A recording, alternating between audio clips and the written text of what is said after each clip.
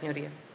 Gracias, presidenta. Señora ministra, ya que el Gobierno considera injusto que los ciudadanos y ciudadanas de nuestro país sigan pagando a partir de ahora una parte de los impuestos de las hipotecas, ¿considera justo que lo hayan pagado hasta ahora? Muchas gracias. Señora ministra, adelante. Y muchas gracias, señora presidenta. Bueno, la pregunta probablemente se la tendrían que hacer todas las formaciones políticas, pero expresada en esos términos creo que es una pregunta trampa. No se trata de que si la legalidad que estaba vigente en aquel momento era una legalidad que ahora, a los ojos de ahora, pueda parecer injusta, se trata si las leyes tienen efectos retroactivos señora Belarra. Y ese es el debate que tenemos en estos días y sabe usted perfectamente, porque así lo ha declarado el Tribunal Constitucional en sus sucesivas sentencias, que las leyes fiscales no tienen efectos retroactivos. Por tanto, el Gobierno ha asumido su responsabilidad, también ha escuchado y se ha hecho cargo del estado de ánimo de la sociedad, igual que ha ocurrido con su formación política, que se ha manifestado en la misma dirección y que, por tanto, de lo que se trata y lo que hemos hecho es que a partir de ahora en concreto desde el sábado pasado, serán los bancos los que paguen el impuesto de actos jurídicos sobre las hipotecas y no los ciudadanos. En esa dirección es en la que en este Gobierno trabaja.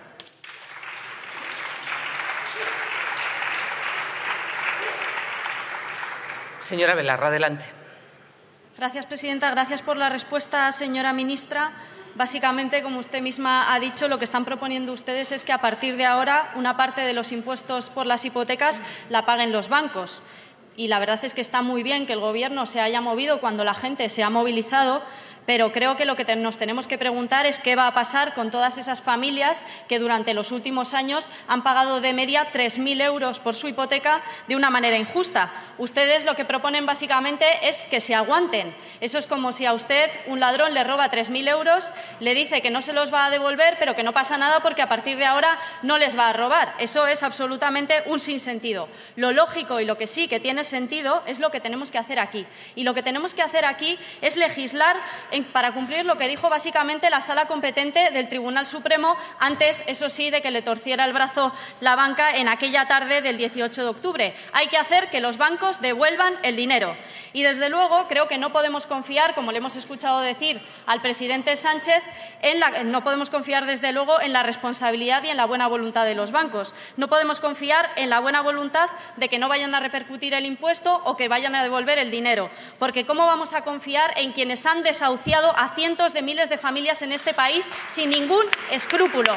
¿Cómo vamos a confiar en los que recibieron dinero público y prácticamente no han devuelto un céntimo? ¿Cómo vamos a confiar, señora ministra, en los que estafaron a los preferentistas, metieron cláusulas abusivas en las hipotecas, en las que acosaban telefónicamente a las familias con decenas de llamadas porque no podían pagar? Esto, señora ministra, no es serio. Y básicamente, y se lo digo con total sinceridad y con total claridad, hay que atar corto a los bancos. Es la única manera de ponerse del lado de la gente, atar corto a los bancos. A los bancos que metan cláusulas abusivas hay que sancionarles. Hay que trabajar para que Bankia se convierta en una verdadera banca pública y que acaben de funcionar como un oligopolio repercutiéndole los impuestos a la gente. Y, sobre todo, señora ministra, necesitamos una ley hipotecaria que proteja a la gente y no a los bancos y también que los jueces de los altos tribunales de nuestro país enseñen su declaración de bienes. No vaya a ser que algunos de los que inclinaron la balanza en el Tribunal Supremo en realidad tenían intereses en esa banca que privilegiaron. Gracias.